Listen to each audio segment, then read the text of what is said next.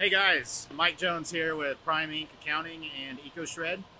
And uh, last week, or last month actually, we kind of gave you a tutorial over our mulch and all that. Well, Nick Boston with EcoShred and I are going to today show you uh, what else you can do with it, which is with the finer material, uh, the pour in place stuff. And this is the stuff you see around tracks, uh, walkways, and for you know the natural parks are starting to use this a lot. Um, we've got uh, probably about four or five vendors that do this for a living, so we're going to kind of not necessarily give you a how-to, but a kind of a what to expect. Uh, small projects can seem overwhelming with something like this, but you know if we show you like the the small pieces of it, then we can all we can get you with somebody get it get you as big a project as you want to get done. So the size of material that we're looking at, like the mulch size is your three quarter, three eighths stuff.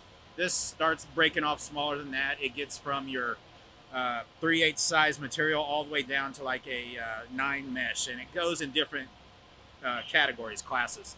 So um, what we're going to do is we've got a, a setup over there. We're going to run you through the, the weighing, the mixing, everything you have to do to get it in, and then we're going to show you some samples that we made. But this is uh, the raw material, what the raw material looks like. Um, just small particles. But anyway, so we're going to run you over. We're going to run it through how to make a sample. You can make uh, a small patio outside. You can make stepping stones. You can do small driveways. Anything that gets really cumbersome and overwhelming, we can get you set up with uh, one of our vendors.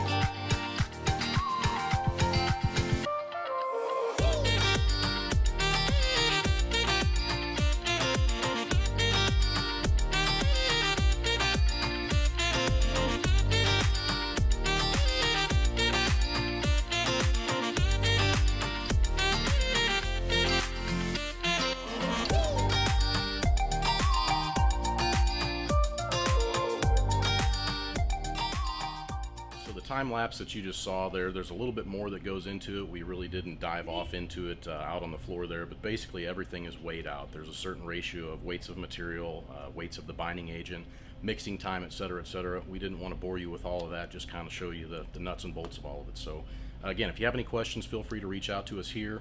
Like I said, we don't do this in-house, but we do have people that we can connect you with. Uh, work with about four or five different vendors currently. There's about two sizes that we make here uh, that are applicable to that type of material, uh, 3 8 5 and then a 5 9 mesh. All right, so what you're watching here, guys, is the water test. Again, with the pour-in-place material being porous, uh, it does allow water to pass through, not allowing it to pool up on the surface. So, again, if you have any questions, you're, you're welcome to reach out to me, Nick.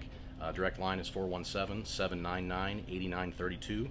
We also have information online on our website at ecoshred.green and again, uh, Facebook and Instagram.